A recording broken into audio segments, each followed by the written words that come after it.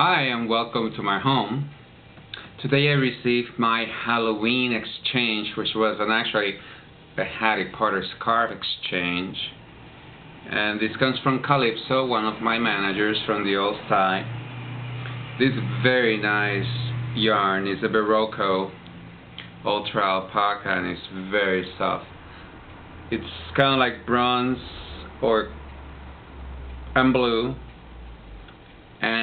and that's part of what I received. I also got this corn yarn, which I haven't seen or heard about it.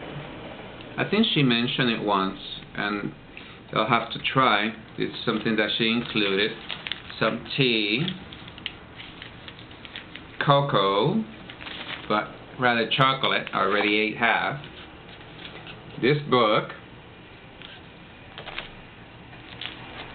this pattern for quilted napkins and placemats, which is perfect.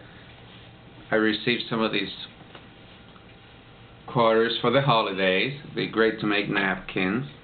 My spider.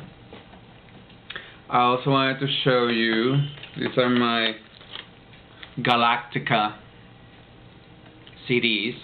I hope they will inspire me. Oh, I also got my Halloween card. Isn't she cute? And some kind of quilting tool. I'll have to check it out. But I also wanted to show you the progress that I have been doing on my hat.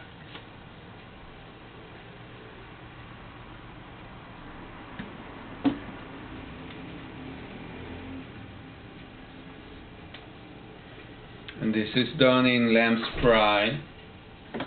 And I also wanted to show you the progress that I've been doing on my scarf.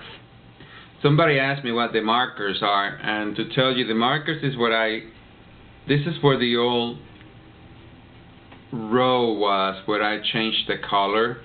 As I'm using the traveling jogless stripe method technique it makes it push toward this way and I just wanted it as an effect so that I can see it and people can see it.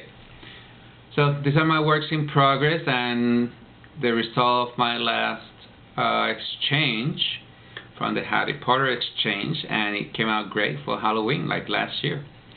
And I thank you for allowing me in your home. We'll talk to you later.